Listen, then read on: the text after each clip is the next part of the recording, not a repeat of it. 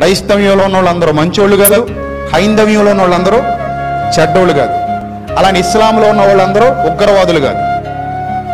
చాలామంది మూర్ఖత్వపు భావజాలం మీరు చూసారు లేదో ఉగ్రవాద అనగానే తీసుకెళ్ళి ఎవరికి కలిపేస్తారు పాపం? ముస్లిమ్స్కి కలిపేస్తారండి తప్పండి. చాలా తప్పు. ముస్లిమ్స్లో చాలామంది మంచి వాళ్ళు ఉన్నారు. హెల్పింగ్ నేచర్ ఉన్నోళ్ళు ఉన్నారు. ప్రజలకు మేలు చేసే వాళ్ళు ఉన్నారు. అవసరమైతే ప్రజల కోసం మన భారతదేశం కోసం చచ్చిపోవడానికి కూడా సిద్ధంగా ఉన్నవాళ్ళు ఉన్నారు.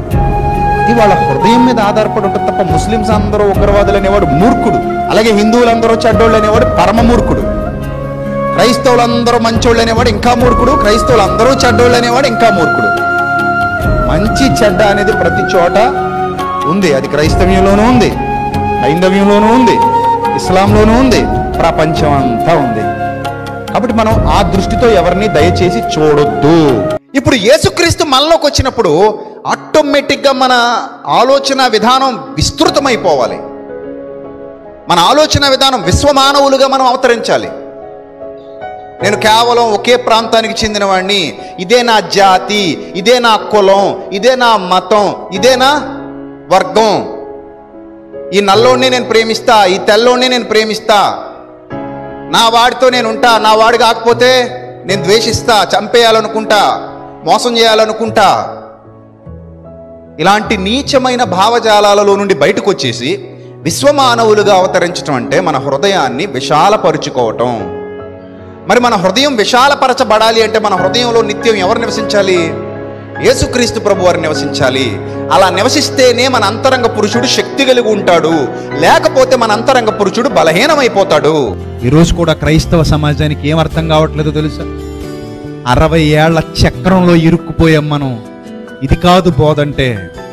అరవై ఏళ్ళ తర్వాత అసలైన జీవితం ఉంది. బోధ దానికి ఉపయోగపడాలి. మనం వినే బోధ మనల్ని నిత్య జీవితానికి నడిపించాలి తప్ప అశాశ్వతమైన ఈ భౌతిక జీవనం చుట్టూ తిప్పకూడదు. ఎందుకంటే ఈ భౌతిక జీవనంలో ఏది శాశ్వతం కాదు. ప్రియులరా మనం అందరూ రోజు ఇక్కడ కూర్చున్నాం. రేపు వచ్చేవారు నేను ఇక్కడ కూర్చోగలనని పల్లగుద్ది చెప్పగలరా ఎవరైనా? ఎనీబడి రేపు వచ్చేవారం నేను ఇదే ప్లేస్లో ఇదే చైర్లో కూర్చోగలను. ఎవ్వరూ బల్లగుద్ది చెప్పలేరు. ఎందుకంటే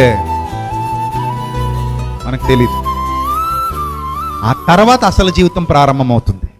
వాక్యం వింటూనే ఉంటాడు తనకు నచ్చింది చేస్తూనే ఉంటాడు. వాక్యం విన్నట్టుగా నటిస్తాడు తనకు నచ్చిన మార్గాల్లో నడుస్తాడు. అస్సలు భయపడ్డు ఎవ్వరికి భయపడ్డు. దేవునికి అసలు విలువనివ్వడు.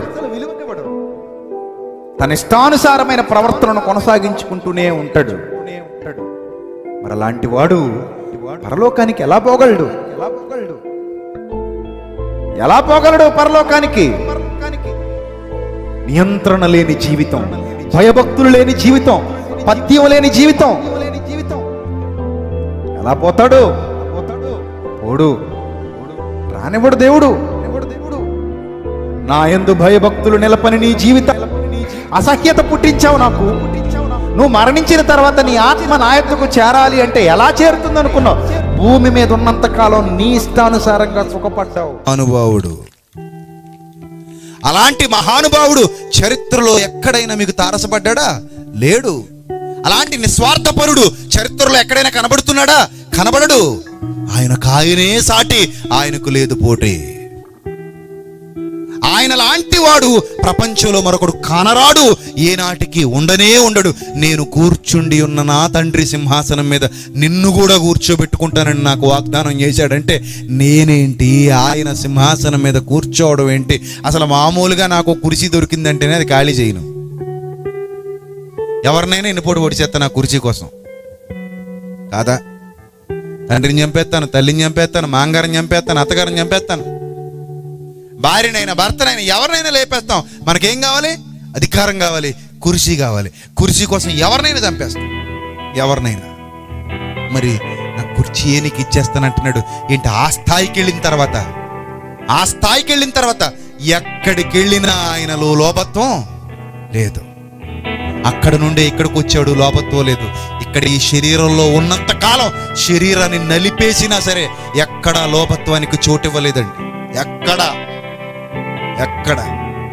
ముప్పై మూడున్నరేళ్ళ తన జీవిత కాలంలో ఒక్క క్షణం కూడా లోపత్వానికి చోటు ఇవ్వలేదు ప్రియులరు ఒక్క క్షణం కూడా.